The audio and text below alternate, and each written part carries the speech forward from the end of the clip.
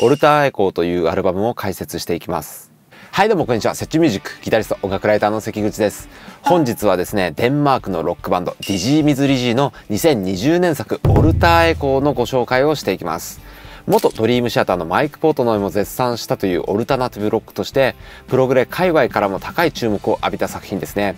作品の解説にあたり、まあ、キーワードとなるのが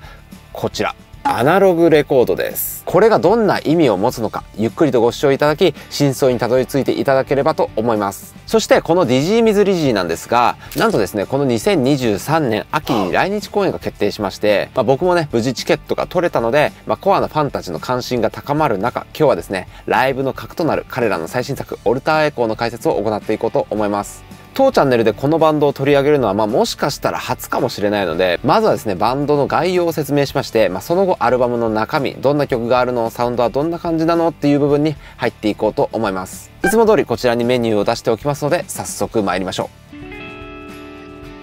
はい、何はともあれですね、まずはディジー・ミズ・リジーというバンドについて解説していこうと思います。デンマークの首都コペンハーゲンにて1988年に結成されたディジー・ミズ・リジーはギターボーカルのティム・クリステンセンを中心にベーシストマーティン・ニールセンとドラマーソレン・フリスから結成された3ピースバンドになります。結成から5年後の1993年にデンマークのロックバンドコンテストに優勝し、そこで得た賞金で4曲入りのデモトラックを作成。出来上がったデモトラックがラジオで頻繁に流れたことでで注目を浴びると翌94年にはですねバンドタイトルの「ディジー・ミズ・リジー」でデビューを果たします。1990年代初期のニルバーナやパールジャムといった、まあ、グランジオルタナティブロックブームの流れにも乗りアルバムはですねデンマーク国内で22万枚のセールスを記録。この記録がデンマークでどれほどの価値かはちょっと定かではないんですが国内で当時のメタリカを抑え込んだというのですから、まあ、かなりパワーがあったことと指します。1996年にはですねセカンドアルバム「ローテイター」を発表しますが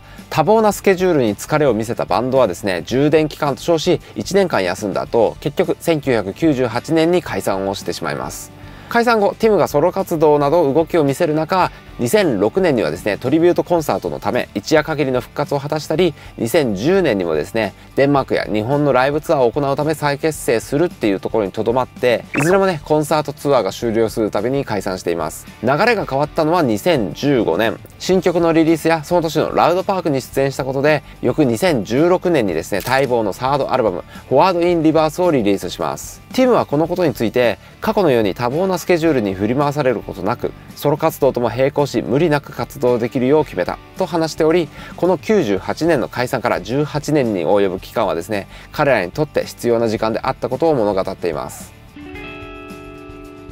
本作「オルターエコー」はですね前作から4年ぶりとなるフォースアルバムです。一応前作発表後の2017年にですね次のアルバムが作成中であることは言われていてこれがね翌年2018年にはリリースされるのではないかという噂もされていたんですが次に公式からアナウンスがあったのが2019年9月。来年の春新作リリースと告げられると11月に先行シングルとしてカリフォルニアレインが YouTube で公開されます。そしてそのアナウンス通りですね2020年3月20日にリリースされました。オルターエコーというタイトルへの着想として初めにオルターエゴという言葉が思いつきますまあ、これはですねいわゆる別人格を表す熟語でバンドが直接意識したわけではないのですが2020年の3月すなわちですね、まあ、いわゆるコロナパンデミックと重なって各々がねこれまでの自分からまた違う自分を意識し見つめ直す、まあ、そんな局面に発表されたことになります。このオルターエコーもですねこれまでのバンドとは別人格であるかのような創造性を浮き彫りにしながらリスナーの心象風景深く密接に関わっていく作品となりました。ティムはインタビューで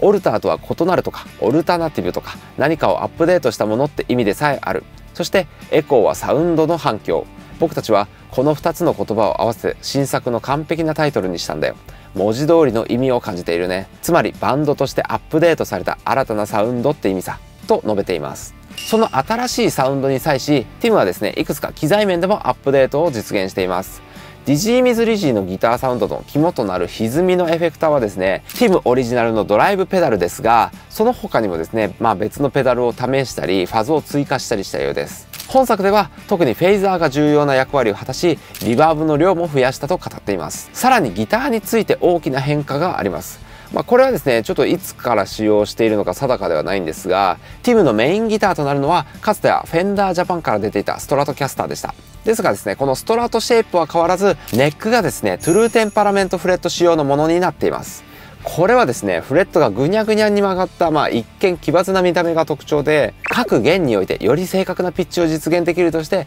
近年大きな注目を浴びています。主要アーティストもですねマティアス・アイエー・エクルンドですとか、まあ、スティーブ・バイといったアーティストからマーティ・フリードマンスティーブ・モーズといったビッグバンドのギタリストロイ・ネストルトマーティン・ミラーといった幅広いプレイヤーにも好んで使用されています。そしてこのアルバム最大の特徴としてアナログレコードを前提に構築されていることが挙げられます。皆さんはアナログレコードって大体何分ぐらい収録できるかご存知ですか？レコードって A 面と B 面がありますよね。33回転12インチのレコードで片面につきおよそ23分程度と言われています。そこでこのアルバムを見てみると全10曲中ですね。1から5曲までは単発っぽいストーリー。6から10曲目までは5パート23分に及ぶ組曲になっています。そしてアルバムのトータル時間は46分。もうお分かりですよね。A 面5曲が23分。B 面の組曲が23分という、まあ、収録時間がですねこのレコード版ぴっったり収まるように計算されているのがオルターエコーなんです。言い換えればですねこのアルバムは最初からレコード前提に制作されたんですよね。そして今日はねそんなオルターエコーのアナログ版実物ご用意してます。まあ普通レコードって黒いじゃないですか。最近はねそれだけじゃなくてこんな感じでカラーレコードカラーバイナルという見た目にも綺麗なレコード版が流行っているんですがこちらの盤面を見てみましょう。ドン。はいどうです？すごいでしょう。こちらねスプラッターバイナルと呼ばれる盤面ですね、まあ、スプラッターっていうのはまあ飛び散るっていう意味ですね。まあ、こっちが飛び散るようなホラー映画をスプラッター映画とか言いますでしょ？要はですねこの盤面にですね塗料をこう飛ばしたような不規則な模様がついてるんですよね。